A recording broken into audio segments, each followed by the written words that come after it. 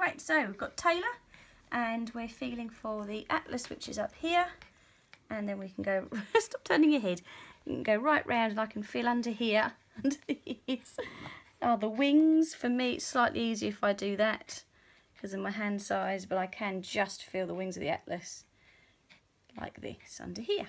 Good boy.